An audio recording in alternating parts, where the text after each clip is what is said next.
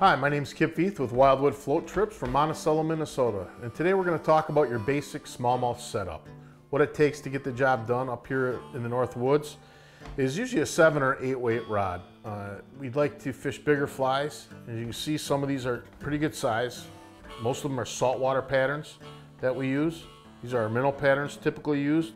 And when we go up top, I'm using basically a popper of some kind or a deer hair diver. And because of the big flies and the big rods, I like to use really aggressive fly lines. Uh, the Rio smallmouth is a very, very good line, as is the Scientific Angler's Titan Taper. It's a great line, it really loads the rod, and I've been using it for like two years now, and it's, it's a dynamite line. They're both great. I use just basically a nine foot, 10 pound bass leader, and the reason I use the bass leader is because of the heavy butt section. It'll turn over your big fly a lot easier, especially when that wind starts to blow on our bigger rivers in the north. I'll just use my leader fresh out of the bag. I won't put any tippet on it right away. If I do get down to the tippet, I'll use a 10 pound Maxima Chameleon.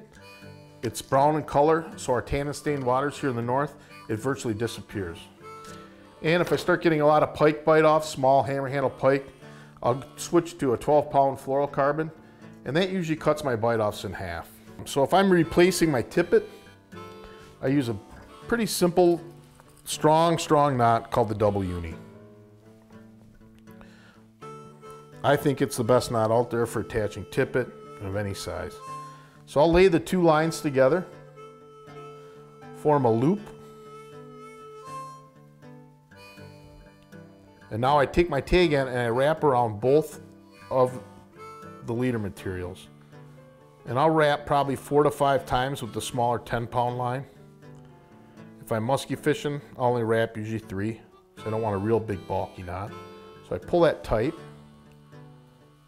and I'll do the same with the tippet end, or with the leader end.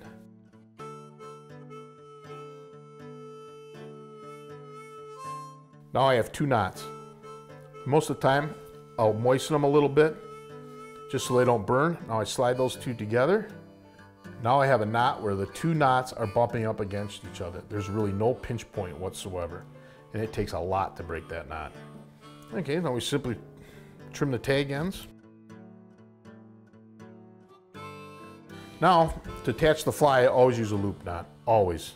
When I'm smallmouth fishing, musky fishing, pike fishing, I always use a loop knot. It gives the fly that much more action. So basically what we're doing, we're tying a overhand knot into the tippet as you see, pick up my fly.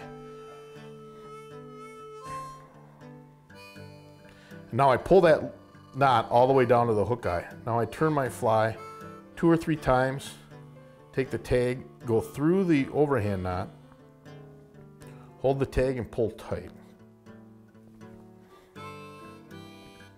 Now I have a perfect loop knot. That fly can dance, stall, do whatever it has to do to try to trigger a strike. I learned this knot from a tarpon guide, and I've never had that top knot break. If it breaks, it usually breaks in here where the fish nicks it with its teeth, mostly pike. This is our basic setup. If you have any questions, please contact us at wildwoodfloattrips.com and we'd be more than happy to help. Have a great day out in the water. Thank you.